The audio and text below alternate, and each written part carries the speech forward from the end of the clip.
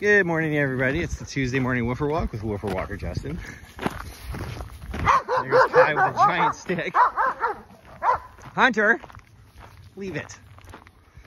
So there's Kai and Hunter, and there's Oliver, Fitbit, Cookie, who just loves Fitbit. There's Roux up there, Sadie, and Holly.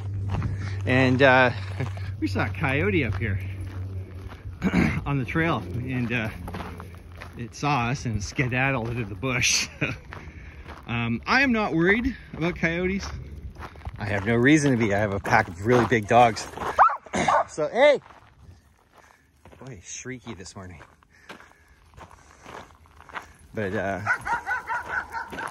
I always tell people with their dogs, if I do see one, especially if they have small dogs, I tell them that I've, that I've seen one. So it's the right thing to do. We don't have to worry. They won't bother us. They always run away when they see it. I mean, look at these guys. Hunter! Hey! Hunter! Leave him alone. What's your deal? How come you're not harassing Cookie? No. Hey! Yo! Uh-uh. Take it down a notch, dude.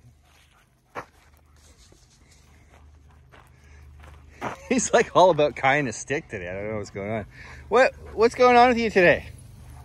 How come you're not obsessed with Cookie? What happened? What happened overnight? Oh, there we go. Did she ignore you too much? oh, he tried to get right in the middle of it. Hey! Oh boy. Silly kids. And that stick, I don't know, dude. That's kind of big for today.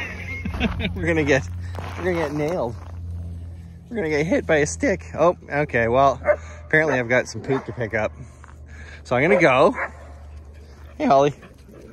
And uh, we'll see you guys in a bit.